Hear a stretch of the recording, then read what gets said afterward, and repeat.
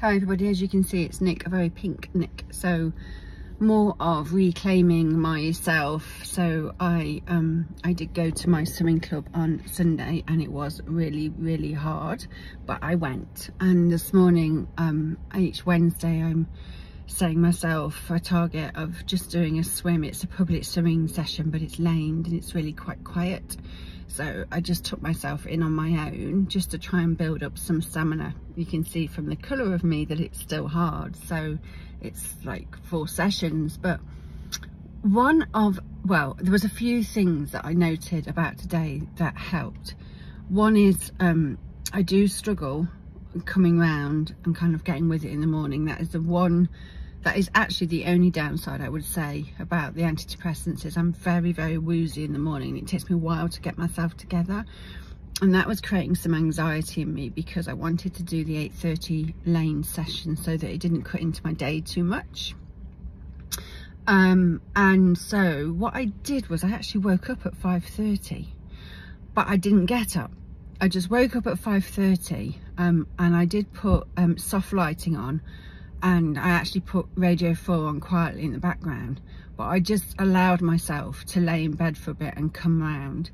Then I made myself a cup of tea and then um, you know I had some breakfast and whatever but I did everything really slowly this morning really slowly. So by the time it came to leave at like whatever time it was 10 to 8 I felt I felt really relaxed about it and I felt like I was into the day and I'd come around. So and the reason that came to me was I did um, I did do my yoga on Monday with um, my very lovely yoga teacher and one of the things she observed about me is the tendency to rush. And she really worked with me on Monday um, in terms of slowing everything down. And actually she said you know we, we live under this false illusion that we think if we're rushing and we're doing everything fast then sorry I've just turned on the sunlight's hit me you can see I'm like a beacon. Um, this tendency we have to rush everything and that very often. The, the real work is done when we really slow things down. So Monday's session my yoga session was very much about slowing everything down really slowing the breathing down really slowing the movement down and being really really conscious. And that stuck with me you know this morning. So I I did get in the car and I did drive to the pool and I had no expectations. On I didn't put any pressure on myself at all. And I got to the pool and there's different lanes. Um there's a fast lane the medium lane the slow lane. And I purposely got in the medium lane. Um I would normally get in the fast lane. Um but I thought you know what? I don't want to be the fastest. I don't want to be keeping up with anybody. Um the only person I'm here for is me. So I got in the medium lane and um and I slowed it down and rather than trying to swim like I used to I just really slowed it down and focused on my technique and my stroke. And I'm not saying it wasn't hard of course it's hard look at me. But this morning I managed um, 50 lengths which to other master swimmers won't sound a lot but to everyday Joe Bloggs people like me and that's pretty much a marathon after not really swimming very much for four years and this is my fourth session in the pool. And it, it wasn't easy but I just kept taking breaks. That was the other thing. I didn't beat myself up you know if I could only do two lengths I did two and then stopped. And then I could do four and then I stopped. And then if I wanted to do six lengths I went slower so that I could keep going. And there's something really important in this slowing everything down. And it really stuck in my mind from my yoga lesson. So I guess I'm wanting to share that. It doesn't matter what you're doing and bearing in mind, I hope, I hope, I, I really please, I don't want anyone to watch this think, oh my goodness, I feel, you know, crap because I can't swim like that. Please, please don't feel like that. There's lots of stuff I can't do. But, you know, I'm from, you know, we, we were swimming from when we were four years old. I'm from a swimming family and your body you know, I mean, you can see how knackered I am looking at the colour of me, but actually your body does remember stuff. It's like people that have always um, run or done other things. You know, I'm, I'm, I'm a terrible runner. You know, I tried running for years. I even ran with a club and I was still shit because I think there's something, when you do something from a very young age, your body has that body memory. So, um, it doesn't matter. This is not a comparison. This is not about you doing what Nik does or anything. It's about each of us finding the thing that's us, that's authentically us. And um, swimming has always, it is just a, I think I'm a bit of a water babe. and it brings me quite a lot of peace and I like the silence when I'm in water so I think there's something really important and Gabor Mate talks about, um, if anyone's read his book, The Myth of Normal, it's brilliant. I highly recommend it.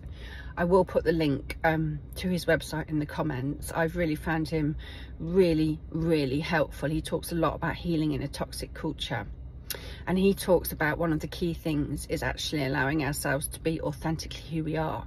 But the problem is very few of us actually know who we are at a very deep authentic level because we've spent so much time in a world trying to fit in and not not really knowing. And he said the best way to start the process of finding your authentic self is to observe when you're not your authentic self and you'll know that because you will feel in conflict you will feel agitation you will feel frustration you will feel resentment.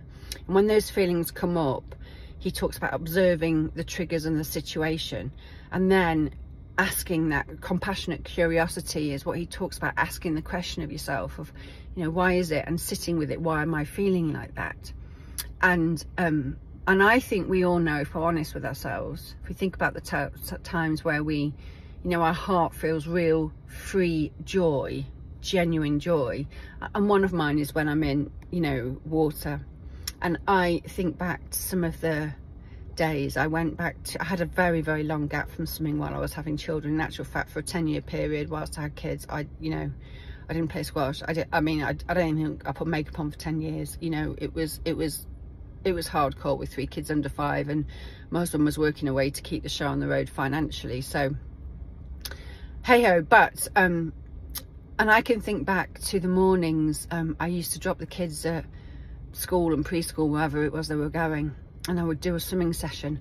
And because it was mid-morning it was always really really quiet in the lane sessions. And i remember this morning and i was the only person left in the pool um, and i was doing my lengths and it was a beautiful summer's day outside and the sunlight was streaming through the window and it was reflecting off the water. And i was just um I just can't tell you the peace I felt just gliding through the water with that sunlight coming through the window onto the water in this pool all to myself. So that you know the water was really still because there weren't other swimmers next to me. So it was really really tranquil. And and um and that brought me real peace deep in my soul really. So I think I think we all know if we allow ourselves to sit in the stillness and just think about the times when we felt that sense of comfort and peace. And there's something really important, I think, particularly during our menopausal transition, of really searching, you know, searching for that who we are at a deep, authentic level. It's a little bit like the story about, um, I can't remember all the ins and outs with the brain fog, but, you know, people manically searching for this diamond only for somebody to put their hand in the pocket and to find that it was there all the time. And I think that might apply to us as as individuals. So this was meant to be a vlog about saying um, this is how I managed to get myself in the pool this morning. And I do feel a bit um, wearing cream crackers. So I have got a um, couple of hours before I start the next part of my day which is another thing I'm doing is not rushing from one thing to another. I'm really being really disciplined. Again slowing it down leaving time in between things if you can. Um, but actually I think there's something that obviously I was meant to share which is about this the Gabor Mate what he talks about. Do any of us really know who we are at a deep authentic level? And that is actually the most important thing I think each of us can try and focus on.